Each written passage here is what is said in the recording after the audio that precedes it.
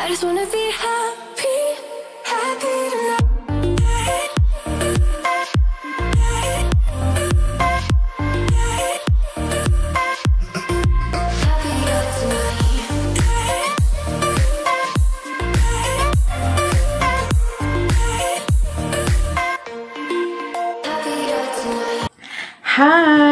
Welcome or welcome back to my channel with another video. Ayan, para sa video natin ngayong araw, ay ipapakita ko sa inyo kung paano ko ba ginagamit itong DIY skin whitening na shinare ko sa inyo before, which is yung um, kojic acid soap and calamansi or yung kojic acid soap na may milk. So, currently, yung ginagamit ko is yung kojic acid soap na may milk. Yan.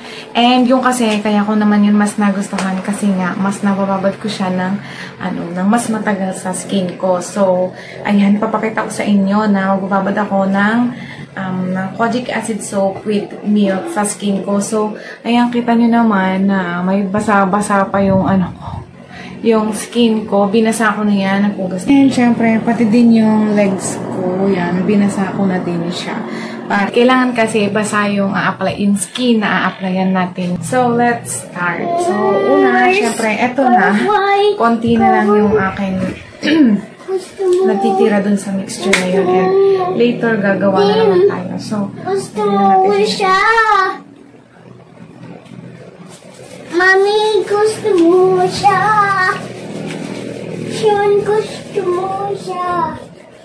And ito, pwede naman to, halimbawa, lalong-lalo kung gusto mong ibabad sa skin mo, dun sa mga part na gusto mo lang na mapalighten. Halimbawa, yung talampakan ko, lagi kong kinakalimutan. So, halimbawa, galing ka sa swimming and di ba may hati, kadalasan, may hati tayo dito. Ito yung mas darker, nasulog na skin natin. Pwede natin yan lagyan. Ng ayan. And ito, maganda siya. Kasi nga, um, ang ginagawa ko, hindi na kasi ako nagdodoble ng ano dito. Hindi na ako nagdodoble ng sabon. So, ang ginagawa ko is hindi na ako nagdodoble ng sabon dito. Ito na lang siya. Kasi pag nabasa yan, mamaya, pag nabasa yan, bubula uli siya. So, yun, babad ko lang siya. And ang kagandahan nga kasi ng paggamit ko, o ng paggamit nitong kojic na may milk is hindi siya mahapdi unlike dun sa isa yung kalamansi na may yung kojic acid soap na may kalamansi kasi mahapdi talaga yun sa skin and ano yung pangmalakasan talaga yun kasi ano yung effect niya talaga is bongga. So, lalagyan natin legs. Yun nga lang, syempre, pag sensitive yung pag sensitive yung skin mo, hindi mo siya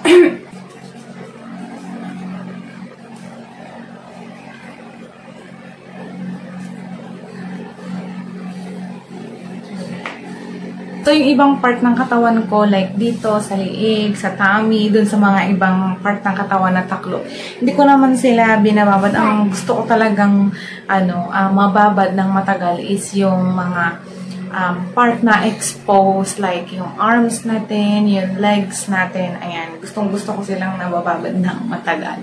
And paalala, syempre, we all have different type of skin and magkakaiba tayo ng result na makukuha sa isang product or isang treatment or isang DIY skin whitening like this one. Nakadepende pa rin naman sa atin kung gaano nyo katagal gustong ibabad itong ating DIY skin whitening sa inyong balat.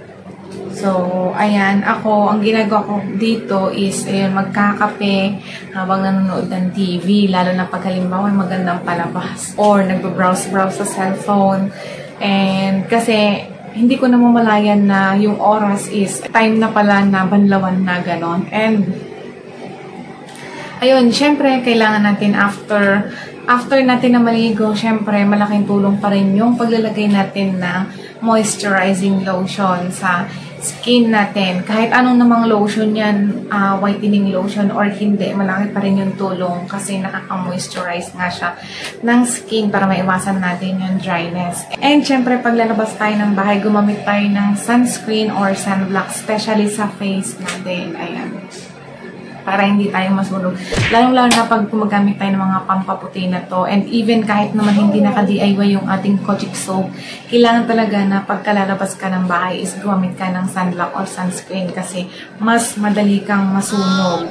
So, ayan, kita nyo naman na hindi pa ako naliligo. And, hindi ko binababad sa face ko itong ano itong DIY skin whitening natin na to kahit milk na yung ano yung nakalagay natin dito kasi nga ginagamit ko kagaya nga nung ko sa inyo before last time ulitin ko na naman is yung Kojic na my water and yung Kojic ko naman doon is konting-konti lang para nga Ah, kasi nakaka-help siya na mag-dry yung mga pimples ko and mag-fade yung mga dark spots ko dyan, yung mga, ano, yung pinanggalingan ng mga pimples. So, there yung ating video. Please do let me know your thoughts about this and kung ano yung naging experience mo nung ginamit mo siya and kung paano mo siya ginagamit. Binababad mo rin ba siya kagaya ko ng 10 minutes habang nanonood ng TV or habang nagkakape o habang nag-browse-browse tayo ng cellphone, nag-check-check ng mga updates. So, yan, pareho pa kaming hindi naliligo ng aking baby. Mukha pang nakapantulog ang baby ko. Nakapajama pa siya. And as in, mukha talaga siyang hindi pa naliligo. Stay beautiful.